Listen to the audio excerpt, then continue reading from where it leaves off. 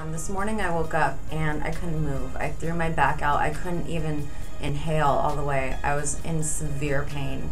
Um, and thank God that He was here for me. So today I came in and we started to go through the chakras and it's very important because he's not just a typical chiropractor where you lay down and get adjusted. He actually cares about your emotional stability as well. And I, for me, that's really important. So, to people out there that have had previous negative experiences, who hold any fear against coming to a doctor or a chiropractor, you don't you can release all that fear because when you're with Dr. Theo and you're practicing the Kousouli method, there's no chance of getting hurt. You're in 100% safe hands.